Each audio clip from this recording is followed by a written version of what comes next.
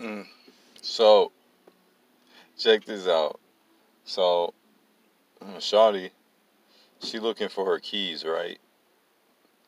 And we tearing up the house. She's trying to go do her little Grubhub order, right? And I'm like, at first I'm just sitting down, you know, just watching it. I'm like, maybe I should just go ahead and help her out, you know? So I get up, look in the kitchen, nothing. Look in the room, nothing. Look in the bathroom, nothing at all. So she said, I'm not even going to worry about it. It's going to pop up eventually. It's going to pop up eventually.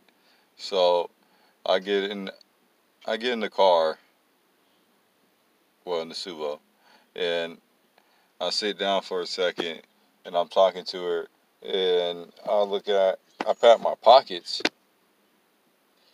and there's some keys in my pockets.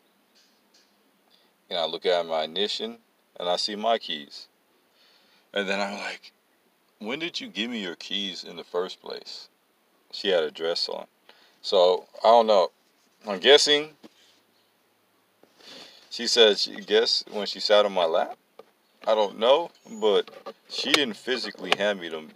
So I don't know how they even got in my pocket. But mystery solved, uh, Scooby. Uh, we can all, uh, you know, get to snacking now. yeah, so had me searching around for nothing when it was in my pocket the whole